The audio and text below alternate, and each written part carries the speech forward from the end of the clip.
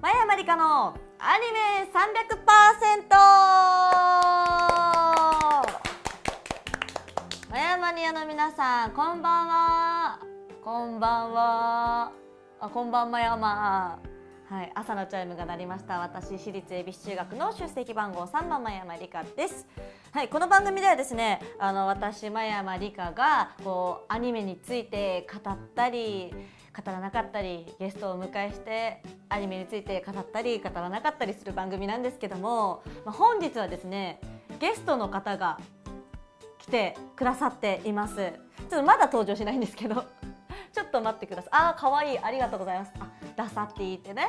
これあの私が着ております番組オジオリジナル T シャツ。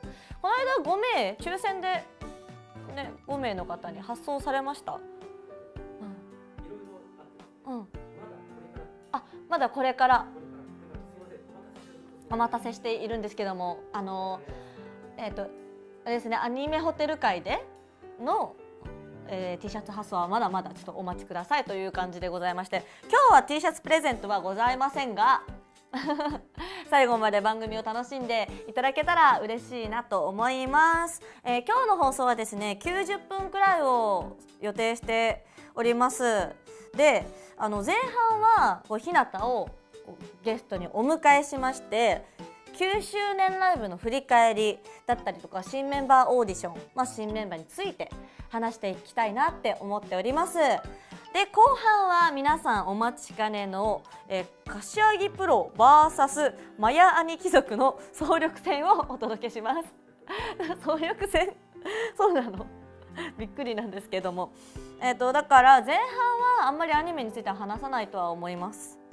はい。うん、後半によりこう日向のアニメ事情というか、まあ、柏木さんはねあのポケモンが好きなんですけど、まあ、それについて深く聞いていきたいと思いますのでお楽しみいただければと思います。そして、えーなぜ今日のゲストが柏木ひなたなのか。と言いますとこの番組はね、まあ、私真山がアニメの楽しさをこう広く広めていく番組を目指しているんですけどこの千里の道も一歩からということでまずはエビ中メンバー内でアニメファンを作りたいっていうことで、まあ、前はこう小林かほちゃんをゲストにお迎えしたんですけどその時にはねアニメの話あんまりしなかったんですよ。というのもかほちゃんがえっ、とあれでしたね、えーなんだっけ？そういうの。古典 古典がが画材店みたいなのが出てきちゃったよくわかんない。古典をやる直前だったので、まあ、かほちゃんのこうパーソナルな方を聞いていきたいなと思ったのでそうしたんですけど今日は柏木さんがゲストということで、えー最もアニメから遠いメンバーそしてジブリを通ってこなかったと知られている柏木さんに視聴者さんにグルになっていただき、えー今日は柏木さんをアニメアニメをちょっとでも好きになってもらおうということでお呼びしたわけでございます。ね、ボスまだみたいな意見とかコメントとか今来てるんですけどこういうのを着る見るとさ私さあれなんですよね。あのー天の弱だからさもうちょっと話しちゃおうかなみたいな気持ちになるんですけど。ダメですかね。あーあージブリ通らないの結構貴重だね。そうだね。ジラシマヤマお。でもめちゃめちゃママママってコメント来てんだけどさ私あなたたちのママじゃないからね。新メンバーのママでもないけど。このね桜木さんのブログを見てねすぐこういうことを書くママとパパは誰やねほんとほんまに。もうちょっといいやもうママってもう文字が多いんでもうコメント見たくなくなってきたんで早速柏木さんをお呼びしましょう。それではゲストの柏木ひなたさんです。どうもどうもこんばんはこんばんはこんばんは柏木さん、はい今日はありがとうございますありがとうございます。呼んでいただいて。番組視聴者の皆さんに自己紹介をはいお願いします。はい。降っても晴れても日向日和エビ中のいつも笑顔なおもちゃ箱出席番号10番おもちこと柏木ひなたです。よろしくお願いします。お願いします。はい、本日ね、あ雨雨雨降ってたんですけど、誰？誰ですか？誰のせいなの？誰のせいですか？ねえ。私かな？かなと思ってたんですけど、まあそうだろうね 私でささこんな日でもやっぱり日向日和なんですか？でもさうん今日さ結構雨その降るみたいなのなってたけど、うんうんなってたなってた意外と確かに あのー駅着いてからスタジオに行くまでは傘ささないで行けたもんね。でしょ、うん。意外と保ってたけどまあまあ、いい日向日和であっていう感じで素晴らしい日向日和ですはい、日ね向日和でした、はいありがとうございます。これから大変らしいんですね。そうだよ。梅雨だし。だから西日本の方が結構大変ってね、ニュースで言ってた。うん皆さん今日はお家にこもってコメントたくさん書いてください。お願いします。おえーということでですね、えー柏木さんあのアニメはい。について柏木さんのこのアニメの関わりについてちょっと触れたいと思うんですけども、あのー今日はさっきねあの総力戦？柏木ひなた VS えー、えーとなんて書いてあった？あ柏木プロ VS マヤアニ貴族の総力戦とあのはい言いましたけども番組視聴者さんと一緒にこうひなたのことをね全力でもてなす会なのでこう安心してくださいということで。はい、今日はポケモン界になるんじゃねとか野球アニメ語ろうぜみたいな先月のねうん。柏木さんがこうゲストに来ますよって発表した時ねに来てたんですけど、うん。野球アニメなんか見てたことはあります？たアニメは見たことない。アニメは見たことない、うん。ん。かひなたはね野球がすごく詳しいんですけど。はい好きで。うんうん。そう普通にあの会会場とか球場うんで見に行ったりとかしてるけど、うん。アニメは見てないな。見てない、うん。だそもそも普段見る？アニメ、うん。もう全然見てない。全然見てない。ごめんなさい、え前にさ弾いた時はさえわかんない。一回こうメンバー全員で「ラブライブ!」にハマった時期があるじゃないうん、ですか、はいはいはい。あの時のんたん好きだのんたんとそうエリちゃんが好き好きだったよね。ね。あの時って「ラブライブ!」アニメ見てたの？アニメは見てなかった。アニメ見てなかったの？ゲームをひたすらやってあたスクフェスでってことか。そうスクフェスを完全にスクフェス勢だったんだ。そうスクフェスをずっと、あそうなんだ。そっかじゃあもう本当にそうアニメ最後に見たのっていつ？えー、もう覚えなんか小学生とかかなわかんな。いなんか遊戯王とかさ。遊 違う。かななんか遊戯王見てた。王か。遊戯王見てた記憶はすごいある。昔一番最初の遊戯王かな。どうなんだろうね。なんで？いつなんだろう。でも本当最後が全然。わかんない、でも本当子供の時に見てた感じなのかな？そうでも本当ドラえもんとか。あドラえ国民的アニメそうだねそうそうそう。そう、うんうんだから本当なんかその最近のうん。うんうんには全くついていけない。そうなの、じゃあそれこそそういう、えっと子供向けとかプリキュアとか、そうふ二人はプリキュアがすごい大好きで、渚ちゃんになりたくて。あーわかる。渚ちゃどうんしても渚ちゃんになりたかった、なんかプリキュアすごい大好きで見てた。えプリキュア何世代だった？私とひなたでも差が何何個差？三個差？年齢。年は、年齢三個差あるから初代だよねそそうれね二人はプリキュア。ね。うん。その後は？ハートキャッチだっけ？えハート多分多分。ハートキャッチじゃない。えっ、ー、と二人はプリキュア？マックスハートか。マックスハートは見てたプリキュアマックスハートでしょ？が最初か。あれ？二人はプリキュアが最初で次がマックスハートでその次が？えマックスハートか。え？ハピネスチャージ？いっ待っていっぱい来た。ぱい来た。あプリキュア5プリキュア5え待って待っていっぱい来た。いやプリキュア5の前に1個あったよね。あったよね。無印マックスハートスプラッシュスタープリキュア5あマックスハートスプラッシシュスターかスプラッシュスターで3人になるんだよね。だんだん増えてったもんね。もうプリキュアそうプリキュアもふなんか増えすぎて、うん。ぜ全然ついていけなくなっちゃった今、うん。もうそうだね。スプラッシュスターからの5でね。私はスプラッシュスターあ違う。結構見てんのか？5も見てたな。見てた。けど2人はプリキュアの2人までのしか見てないってことね本当なんかもう本当に全もう本当に最近のものも見てないから全然然ついていけてない、うん。じゃあもう社会現象にもなって「鬼滅の刃」とかも ごめんなさい。一番も見てない。一番も見てない。いや今日は手強いの。結構手強いと思うの。呪術廻戦もう一話も見てだってもう呪術っていうのに結構そうなの今ね。呪術廻戦ゆっくりとしっかりと発音していただきましてありがとうございます。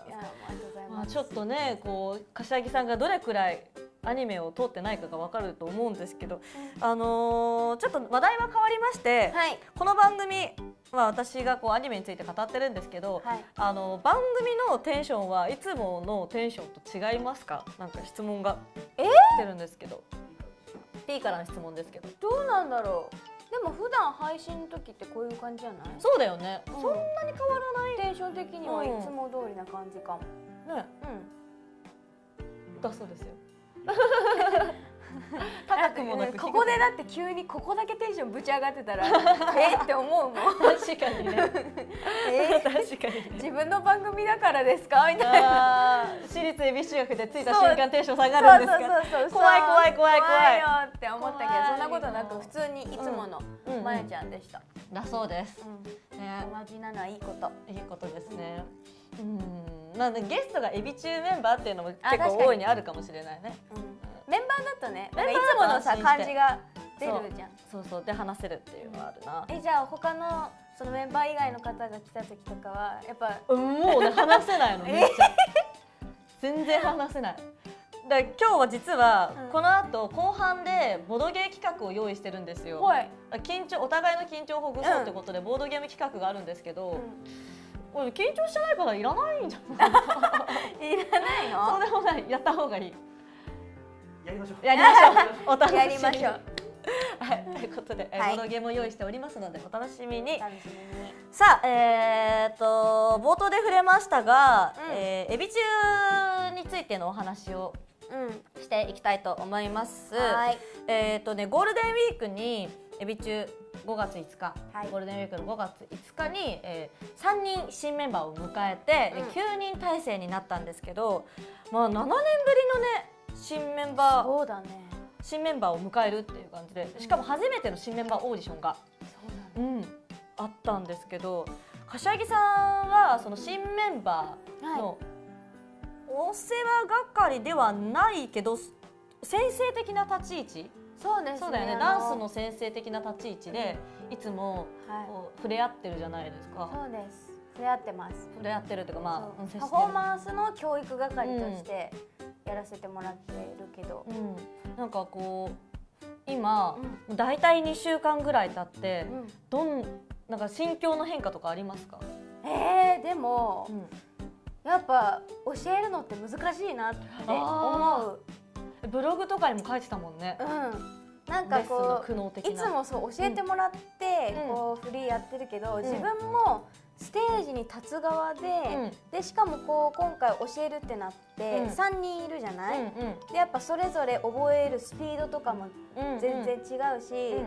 その吸収力も違ったりとか、うん。あと振りがうん。結構左右別個な部分ってとても多いじゃん。そうだエね。ビ中のうんうんうん。曲って、だからそれも私はやってない側の方も頭に入れとかなきゃいけないかそうらだよね。そう。なんか家帰ってうん。もうなんか、まあ、ある一曲やったけど、うん。全くさ本当に左右全然違う振りになるしフォーメーションあもぐぐちゃぐちゃなうん感じになったじゃん。うん。あの時あれあの曲がすごく一番大変だった。言えないけど。あ あ私ちょっとお楽しみ。この間ね、あのそうそう。立ち位置もつけたやつだそうよね。そうそう。でみんなみんな立ち位置もさ、うん。あの細かすぎて。確かに。つけてる私でさえうん。細かいなと思ってたけど、やるともっと細かいなって思った、うんうんうんうん。それはねこ私側からも感じるもん。やっぱ、うん。あの今まで最近はずっとね、まあ、6人でやってきて、まあ、5人でねあやちゃんがお休み中なんでやってきたんだけど人数増えるだけでだいぶフォーメーションが増える感じがする。同じぐらいの量のはずなのに。そうなの。フォーメーションって減らすよりうん。増やす方が大変。うーん。減らすのってじゃあ一人誰かうん。お休みしますってなったら、うん。そこ詰めればいい。うんうんうん。とか、大まかなこの元のフォーメーションで変えなくてもいいじゃん。うんそうだね、けど増やすってなったらうん、元のフォーメーションをまず崩して。ああそうなんだ。そうそうそうやっていかなきゃいけないから本当に、なんか減らす時は一からフォーメーションうんうん。の直しっていうよりかはうん。元あるフォーメーションを生かしつうん。つちょっと詰めたりみたいな感じでやってたけど、なんか増やすってなったらもう元のフォーメーションなんてないものと考えて新しくフォーメーションのフォーマットを考えてっていう。そうなんだ。そうそう。であじゃあもう完全に作業が違うわけだね。そう。で人数も奇数と偶数でまた全然違ったりとか、うわー。そうセンターがいるいないになるじゃん、で確かにね。0.5なのかぶっちゃけよ、うん。その奇数と偶数どっちの方が大変なの？大変？うん。えー、どうだろまあ、今までは、まあ、あやちゃんがこうお休みした時はうん。5人だった、まあな作業は違うとしてう、も、やっぱこうセンターを作ってフォーメーションを作る方が大変なのかそれともこう偶数でこうセンター割りにしてみたいなのが大変なのか。いや人数が多い偶数はうん。やっぱり大変、ああそうなんだ。奇数はやっぱりまずセンターを置けば、うん。そこから周りどんどん、うんうん。V やらハの字やらとかでできるけど、うん。やっぱね偶数はまずセンターを作れないからなかなか。センター作るってなったら、ん。その後ろにかぶりっていうのが出てきたりとかさああそうね。あるじゃん。だからそこ誰をはかぶらすかみたいなのとかねとか移動とかも大変だから、うん。人数多いとあの歌割りのパートもやっぱエビ中細かいからうんさ、そうだね。そこはやっぱ偶数の方が大変かもしれない。そうなんだ。いやいつもありがとうございます。こちらこそありがとうございます。覚えていただいてありがとうございます。ね いやなかなかこんな話しないから。えね私もあの全然このね例に書いてあるやつ全然読まない。で 自分が気になって質問をい今やでも しちゃったんだけど多分みんなを多分聞きたかったことじゃない？うんじゃあもうあのーちょっとこう話はそう戻るけど。はい。そのオーディション合宿して、うん。新メンバーが入ったわけじゃないですか、はい。新メンバー3人の印象は？えー、やっぱり。それぞれ。えーある、それぞれあそれぞれじゃなくてもいいよでもみんなやっぱオーディションの時すごい緊張してた、じゃん。あー確かにね、入ってきて喋ったら、うん。全然キャラ違うじゃん。確かに。みんなそうもっと明るいじゃんみたいな、うんうんうんなんか本当なんかもうココナとか天然だし、意外と天然だし、あの子は。そうだね。ココナは天然だし結構なんかそう見た目以上にこう不器用ちゃんというかいい意味でねそうこのギャップが可愛い子だよねってそういうそうそうで、もう言うのはもうある言うのじゃん。うんそうだね。もうほんとぶっ飛んでるというか。うん。あのね返しが早い。あ確かに。すごいはっきりしてる。ンポがねそ早いよね。やらないです、ん。やりますみたいな。確かに。そうしイエスのはっきりしてるイメージはユノにもココナにもどっちにも感じるよね、そうで一番最年少のののかが一番しっかりしてるかも、そうだね。三人の中うで、うん。ん。確かに、そう、ね、えレッスンで一番さ、うん。私はこうレッスンを、あの教育係がかほりこでね。で日向がこうその動きパフォーマンス。の教育係としてやってくださってるのって、あのあんまりこうフォーメーションの時以外は参加してなかったりとかそね。の3人の誰かがいけない時に参加するみたいな感じのポジションでやらせていただいてるのでああんまりこう新メンバーと触れ合ってないんだけど、こう3人の中でなんかこの子うーん。この子と、あこの子積極的だなみたいな子。積極的、なんだろうその振りに関してわからないところを聞いたりとか、なんかもメモったりとか、どうにかその自分で自主練の時間作って覚えようっていうのは、ののかが一番あ見えるかな、そうなんだ、うん。みんなもちろんそのその後ろで踊ってる3人とか、私とかに聞いてやったりとかするけど、一番やっぱすぐ本当その場で踊ってみてすぐ分からなかったら聞く。だあからもう分からないなら聞くっていうことが多分頭の中にしっかりついてるからすごいね積そこは、うん積極的だなって思う。うすごいやっぱののかはね真面目なんだね結構。う、ん、逆にうん。ちょっと手かかるけど可愛いなみたいな子もいるの。手かかるけど可愛いな、手かかるかは置いといて、うん、この子可愛いなみたいなことが、そうだね、なん誰だろう。でもみんなやっぱりそのダンス、うんうん。まあココナとかもともとやってて、っていうのもさ名古屋でイベント出てたりとかして、うんうん。ののかも新体操やってたりとか、うんうん。みんなやっぱその動いてる経験があるから、きちんと覚えたりとかするけど、うん。一番そのダンスとしてうん。ちょっと不器用で可愛いなって思うのはユノ。ああいうのね。ユノ は確ね可愛い。あの体がすごい硬いのよ。ね。だからもうそのうんうん。柔らかい動きってうんなった時に、うん。その硬さがちょっとまだ出ちゃうからうん ね。そう。でもうん。初めのストレッチより、ストレッチとか、うんうん。や筋トレやってる時より、うすごい柔らかくなってきたの。そうなの？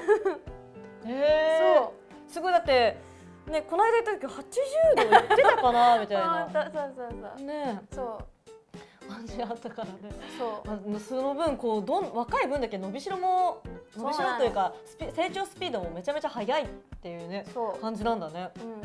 うん。へえだってこの間レッスン行った時はうん。あのーココナか。ココナはもう完全にひなたをこううん。むしろ柔らかくしようって先生味を感じたよね。あ本当、うん。2ペアでそうそうそうそう。ストレッチやってたんだけど、うん。すごい勢いでひなたがこう 押されてて。そう。あ なんか私もなんか今までより柔らかくなってるもん。ひなたも柔らかくなってんなっていうそれを感じました。ココはさ柔軟が得意でさ、うんうん。バランスとかもうんうんすごいできる、本当に柔らかいからうん。もうあのスパルタで私を、あの先生をはい、ストレッチしてくださって。どうされて？はい。ひなたも柔らかくなってたなっていうやっぱストレッチってやればやるだけ成長するんだなっていうのを私は人の人を見て感じました、うんだって郁恵先生にも言われても「ひなた体めっちゃ柔らかくなってるけど」みたいな。柔らかくなってる。そうだから逆逆教育係係にな確かにね。あの私もそのねココナのストレッチ受けたいなってちょっと思ったやってみ？い最初は痛いから。マジで。やだから私最初に言うのうん。おばあちゃんだから。ね、体壊しそうみたいなところもあるよ 本当。っそう。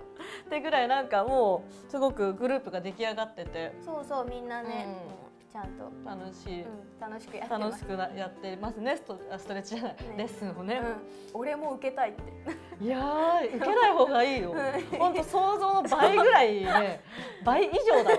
結構スパルタなストレッチやってるなってうん。思いました。あなたまだ20代。まあ20代もね柔らかいんですけど柔らかくなるスピードはまあ速いけど10代に比べたらね。そうなのよ。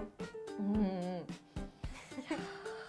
ごい。ファミエンを皆さんね楽しみに。ファミエンで初めての初めてそうなんですよ。新メンバーが初パフォーマンスですかね、パフォーマンスいたしますということなでそろそろねあの前半パートがあここで終了になりますので今ちょっと告知してくださったんですけども、はい。私立恵比寿中学から、えー告知がございます。はい。お知らせがございます、はい。まず6月ですね。私立恵比寿中学コンセプトライブムーブがございます、こちらはですね、えー安本彩香と新メンバーの出演がございません。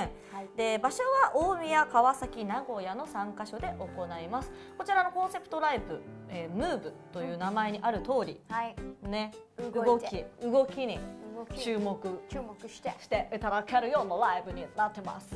えー、I'll be here という曲を振り付けしてくださったゆうすけ先生が、うん。ライブコネクトっていうね配信ライブの時にこう演出してくださったんですけども、うん。それがねもうすごくよくってぜひこう有観客ライブでもやってみたいと思ってうん。実現したライブでございますので、はい。ぜひ楽しみにしていただければと思います。そして、えーさっき言ってくれた新メンバーが初パフォーマンスする、えーライブもございます、はい。えーこちらが、えー未来に響け港のプレイグラウンドことファミエン2021 in 赤レンガ倉庫です、えー8月21日横浜赤レンガパーク特設会場にてございます。それに向けて絶賛レッスン中ではい。ございますので先生大丈夫ですか？なんか。大丈夫です。あのユノが、はい。このファミエンのタイトル、うん。ちょっとい一回言ってみてって言ったら、港のプレイゴールド。いうのが？可愛かった。可愛かった。それココナもやってたよね。うんなコみんなもプレイゴールドってみんなグラウンドが読めない。もう金色に輝いちゃってるからファミエンが。輝いそんなねそう。3人のメンバーも輝く、まあ、ののかは読めるかもしれないですけど、うん。もうプレイゴールドプでレイゴールド。まあグラウンドですけどゴールド。に輝く3人。そして私たちもね。ぜひ見に来てください。というわけで、えー、ここここで、えー、前半、えー、会員前半の無料放送はこちらで、はい、おさらばでございます、うん、ここから先は休憩をしまして、うん、そこから会員限定放送になります、チャンネル登録するならチャンネルに入会するなら今だぞってことで、えここまでご視聴いただいた方ありがとうございました。ありがとうございました。バイバイ。バイバイ